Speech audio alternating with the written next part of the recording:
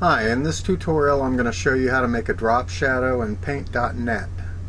Paint.net is a free program and you can use it uh, to do almost all of your uh, creative work for websites, whatever.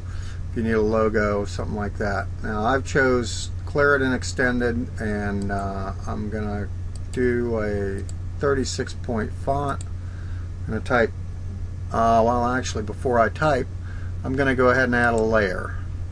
Alright, on my second layer I'm going to put my text.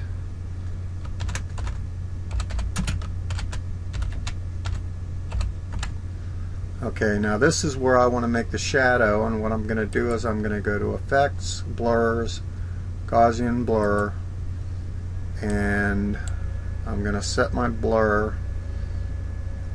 just about like so. That looks good to me. Okay, now I'm going to add another layer.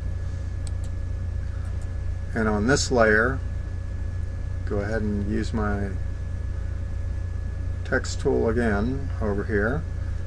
And I'm going to type drop shadow again.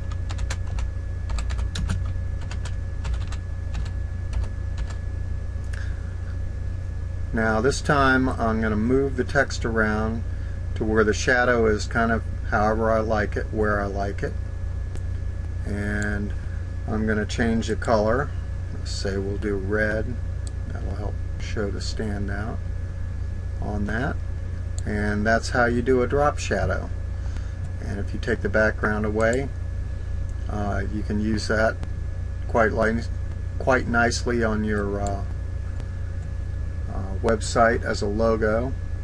And uh, I'm going to take this a little further. I'm going to go ahead and trim it and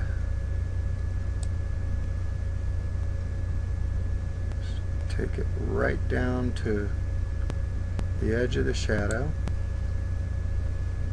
And image crop to selection. Now if I take the background out you can see I've got a really nice transparent uh, text that I can drop in on anything that I want to with a drop shadow